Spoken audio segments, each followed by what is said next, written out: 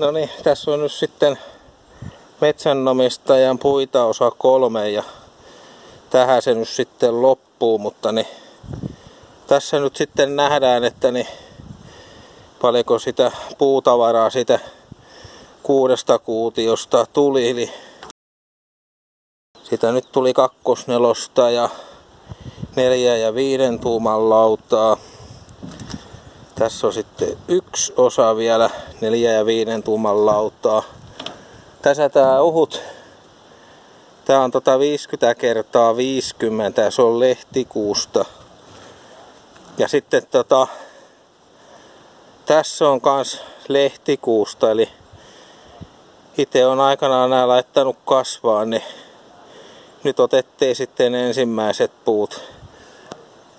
Eli ne sahattiin tota yksi tuuman neloses ja sitten tota ne 100 kertaa 100 ja 75 kertaa 75 ja 50 kertaa 50. Semmosessa nämä nyt tota sahattiin. Sitten nyt voi sitten itse kukin arvioida, että niin näillä tota, niin, puuhinnoilla, niin paljonko täällä jäänyt sitten maksaa, jos sen tuolta kaupasta lähtis hakemaan. Sekalajäli ilmaa siellä on nyt paljon, mutta niin ton verran nyt tuli sitten pintoja. Ei nyt mitenkään hirveän paljon. Siinähän on hyvää hakerankaa.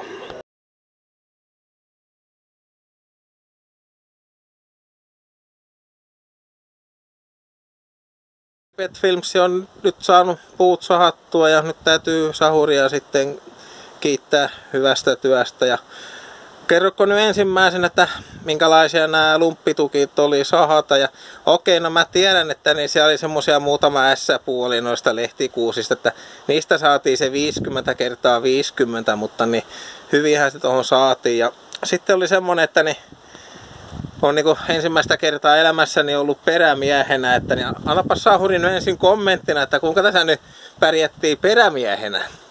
No joo, kyllähän se perämiestyöskentely on joka kerta, kun siihen uusi, uusi perämies tulee, niin onhan se semmoista opet, opettelua, mutta kyllähän Sahurillakin on vähän vastuuta sitten, sitten että miten se perehyttää se ja kertoo ne, kertoo ne tärkeimmät asiat. Ja sehän on käytännön tuo mikä tahansa, niin kyllähän siihen pitää niinku ope, opettaa, mutta kyllähän se joka, joka puu meni jo paremmin siinä perämiehellä.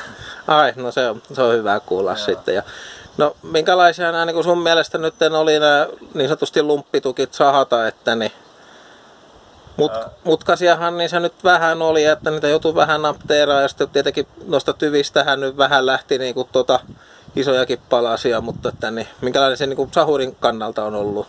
No kyllähän, siis faktahan on se, että lumppitukit niin lähtökohtaisesti ne ei sitten sahalle, tämmöisille isoille sahoille kelpaa, mutta niin kuin mä sanon, niin kenttäsirkkelin pöydällä ne mutkasetkin ja lengot puut kyllä suoristuu, että se pitää sitten vähän, vähän pyöritellä enemmän. Että kyllähän pikkusen enemmän tietysti lumppitukissa menee aikaa ja täytyy sitä puun niin kuin lenkoutta ja jännityksiä siinä kahtoa vähän tarkemmin, mitä sitten ihan niin kuin luotisuorissa suoraan kasvaneissa puissa, mutta kyllähän niistä hyvin, hyvin saatiin tavaraa, tavaraa aikaan tuossa tuossa. Että tuota, suuri osa varmasti, mitä, mitä yksittäiset, yksityiset ihmiset sahuttaa, niin kyllähän ne nimenomaan on, on tuota, näitä lumppitukkeja.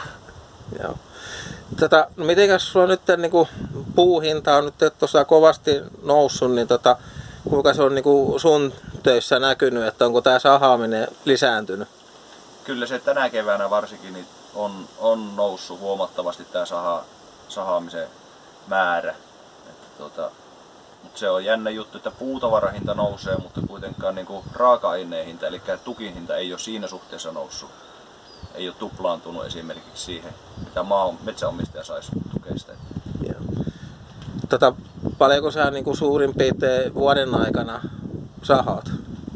No me sahattaan, sahattaan tuota yhtiökumppanin kanssa yhdessä, että ei niitä kuitenkaan niitä sahauspäiviä, ne ajoittuu kuitenkin tänne alku, alkukesälle kesälle ja tuota käytännössä talviaika ja jäisenpuuaika ei saada ollenkaan. Että jos yhteensä hauspäiviä arvioisi, niin tietenkin tämä kesä tulee näyttämättä kuinka paljon vielä tulee tilauksia, mutta puhutaan niin yksittäisistä kuukausista.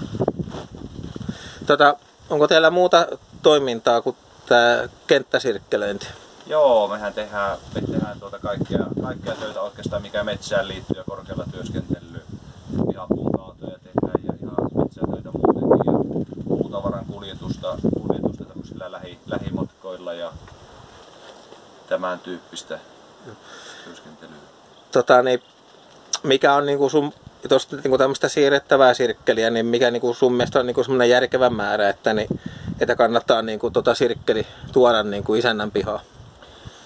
No sanotaan, että kun siinä alkaa olla päivän niin kuin sahatunnit, tunnit, niin silloin se, silloin se on järkevää jo siirtää, siirtää mutta tuota, toki se on vähän, että et miten sen laskee, että jos isäntä haluaa tiettyihin kohtiin taapelit, niin kyllähän se sitten työtä tulee, tulee siitäkin, että se meidän sahalta tai laanipaikalta ajaa sinne puutavaran pois. Että ei siihen semmoista tarkkaa kuutiomäärää tai kappaleen määrää, että se on aina vähän neuvoteltavissa, mutta lähtökohtaisesti jos on useamman päivän, useamman päivän tuota sahaukset asiakkaan luona, niin ehdottomasti silloin on järkevää siirtää, siirtää kyllä ainakin Joo.